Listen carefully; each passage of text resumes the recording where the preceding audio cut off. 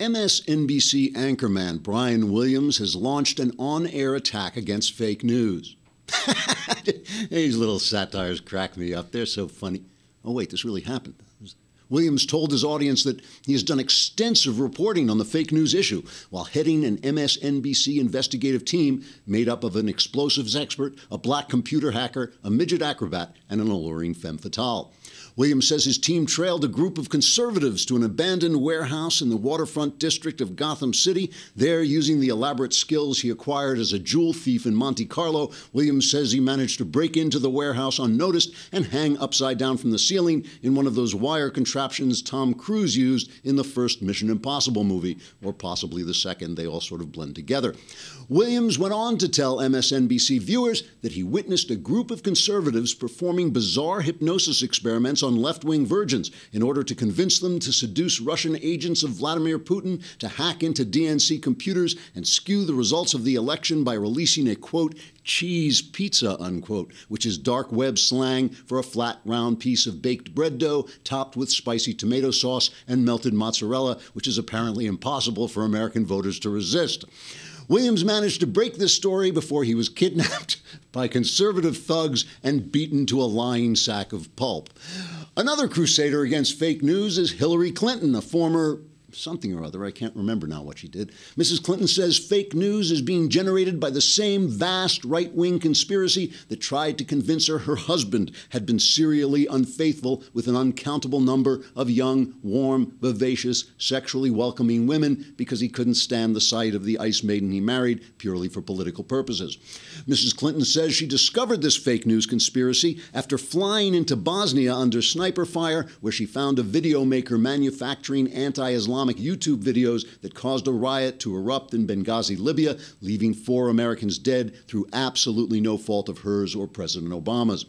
Mrs. Clinton said she would be as diligent in exposing fake news stories as she had been in releasing the government emails that somehow found their way into her private server, along with the 57,000 emails about yoga, which you don't need to see. So she deleted them, then washed out the inside of her computer with acid, and then killed anyone who might have read them previously. Former something or other Clinton said she would continue her fight against fake news in her new position as the feminist conscience of the nation, a position conferred upon her by an international gathering of the most powerful op ed writers at the New York Times. Like Mrs. Clinton, the New York Times also used to be something, but I can't remember now what it was. Trigger warning I'm Andrew Klavan, and this is The Andrew Klavan Show. I feel hunky dunky, life is tickety boo. Birds are winging, also singing hunky dunky doo. Ship shaped tipsy topsy, the world is zippity zing. It's a wonderful day, hurrah, hooray! It makes me want to sing. Oh, hurrah, hooray! Oh, hooray, hurrah! What is a poor satirist to do? And Brian Williams goes on TV and says, "All right, the answer. Oh, wait, what happened? You just there it is. This is uh, our our what, what is your job here, Austin? You sit there every day. What what? I make cool stuff. He makes cool stuff, and one of the cool stuff is the 12 days of the Andrew Klavan Show uh, on Christmas, where we have I see we have the French hen. She's wearing a French maid outfit. I don't want to talk to you about Austin's private life. We have a, call, a calling bird with a cell phone. And what, what is this? The five rings? Is that the Olympics? five, five golden rings, of course. That's right. All right. We have, uh, we're going to talk about the Russians. Uh, we're going to have our Golden Globe winning cultural correspondent Michael Knowles is going to come on.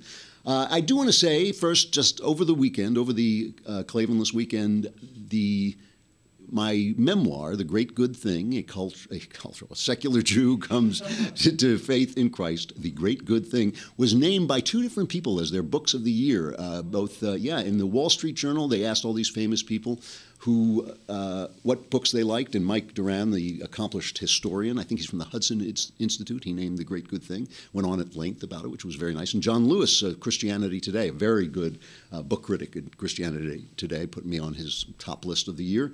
You can get that book, and while you're there, you can pick up my novel Werewolf Cop for only a buck ninety nine on Kindle if you live in the United States. Some people have been complaining that they're not in the United States, but if you're not in the United States, you should complain. All right, before we talk about anything else, I want to talk about, I have to talk about John Glenn. This was the, the worst thing about the Klavan this weekend was the death of John Glenn. I mean, he was 95, it was time, but that's, that's another thing altogether. Normally, you go into the top news of the day and you get to these things last.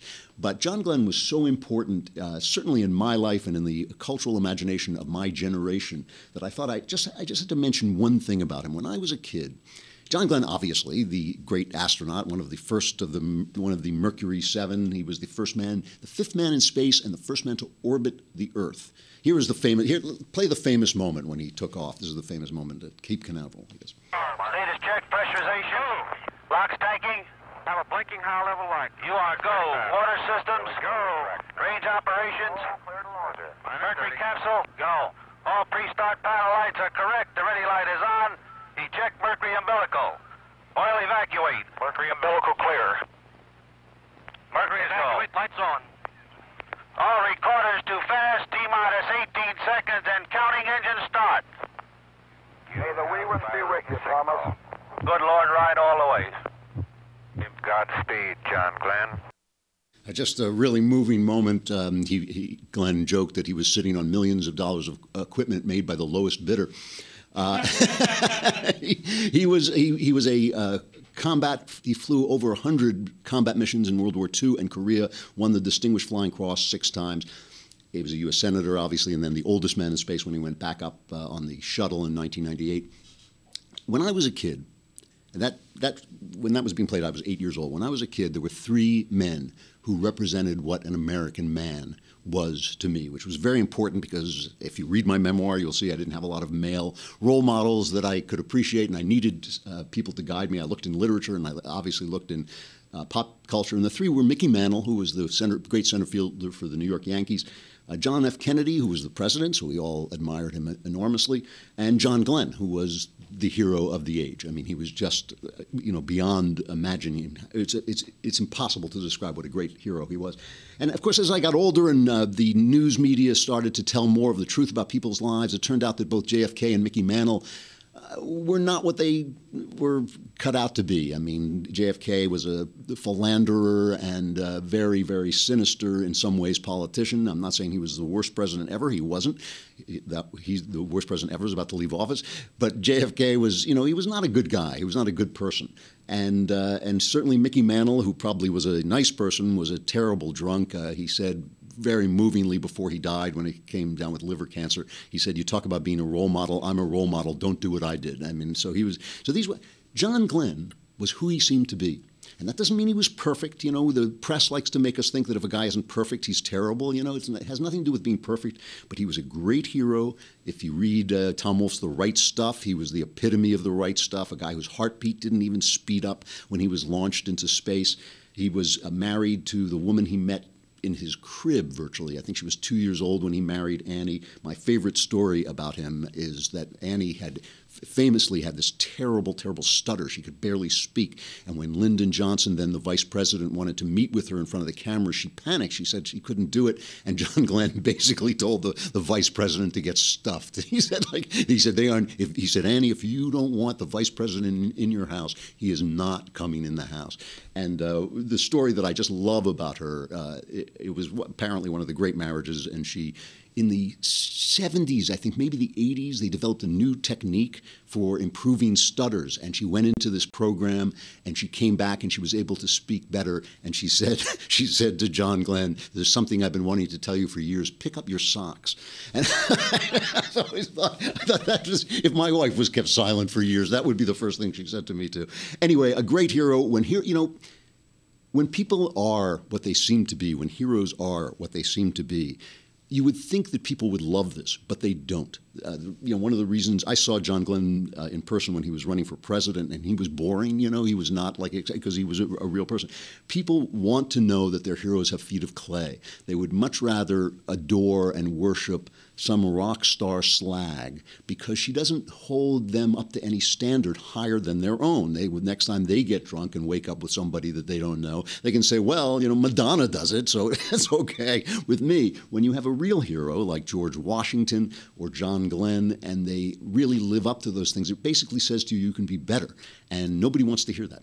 And nobody wants to hear that they can actually be who they pretend they are. They would much rather be who they you know can laugh about with their friends and, and while they destroy their uh, and other people's lives.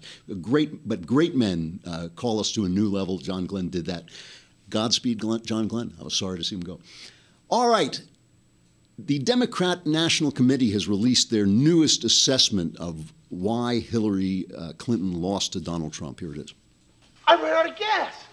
I had a flat tire. I, I didn't have enough money for cab fare. My tux didn't come back from the cleaners. An old friend came in from out of town. Someone stole my car. There was an earthquake. A terrible flood. Locust. It wasn't my fault, I swear to God! Locust, it wasn't my fault. This is insane. You know, this is it's it's Comey's fault from the FBI. It's this. It's that's the Electoral College. So now there's this new story from it started in the Washington Post. The New York Times echoes it today. The CIA, which had already now you got to be careful. You have to understand what this story is. The CIA, which had already reported to Obama and senators and other people that the Russians had hacked, had had some role in hacking the DNC and releasing all these emails that made uh, John Podesta and the Clinton campaign look bad because of they were bad. That they now a, an anonymous source is telling the Washington Post, an anonymous intelligence source is telling the Washington Post and the New York Times that Putin's aim, the Russians' aim in this, was getting Donald Trump elected. This story is crap. This story is 100% crap. Now, I don't even know, I'm, I'm, sure it's true. I'm sure some senior official did say this, but who cares? I mean, it is a story. It was definitely a story when they said we think the Russians are hacking DNC and trying to mess with the uh, American elections. That an anonymous source will not come forward but says we now know what their motive was. How the hell do they know what their motive was? Plus, plus, the New York Times reports that this anonymous source tells them that the RNC was also hacked, but they didn't release that information. Whereas the RNC says we had the FBI in here to ex- explore our computers, and they were not hacked at all. So the source is already questionable. This story is crap. One of the things I think they're aiming at is I really do think that they're aiming a little bit at the electoral college, hoping some of these electors are faithless electors, which, by the way, would put the send the country up in smoke if somehow the electoral college turned this election around and they thought if they think that Hillary Clinton is going to be installed by a Deus ex machina, that's not going to happen. Now listen, again, it's it's important if the Russians are hacking computers. We want to know about it. I'm not saying that. But this story, this particular story, is crap. And I have to say, and of course, the, first let's take it from the Democratic talking points of view. The Democrats are calling for an investigation. Claire McCaskill was the spokeswoman. This should be not only about protecting us going forward, but this is a form of warfare. Uh, for Vladimir Putin, who is a thug and a bully and has the friends around the globe that we don't want to be friends with, for him to be trying to impact our elections, uh, that we have to, there has to be, he has to be held accountable.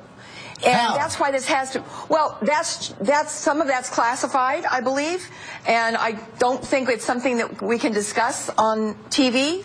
But I've had briefings just this last week that indicate that this is a very serious issue for the American people to understand and for Donald Trump to dismiss out of hand.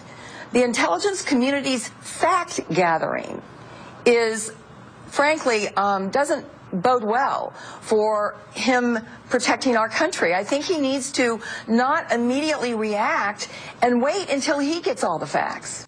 So the irony here is endless. I, I, I, want to say, of course, John McCain and Lindsey Graham, the two most useful idiots in the Senate, you know, the Democrat useful idiots, immediately said, yes, we need a bipartisan investigation of the, you know, it's like they're just walking into this thing. And of course, you have to investigate, again, the Russian involvement.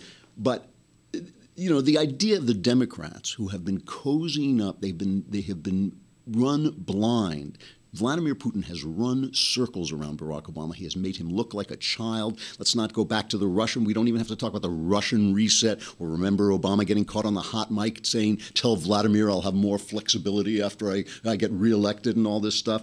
You know, it, and and all of the first of all, and the other thing is the CIA is basically accusing the Russians of doing the media's job for them. They're accusing them of getting the news that the media wouldn't get. But you know, the other thing is the sudden confidence in our CIA and our intelligence service who are the ones, as, as Trump was quick to point out, who are the ones who told us that Saddam Hussein had weapons of mass destruction.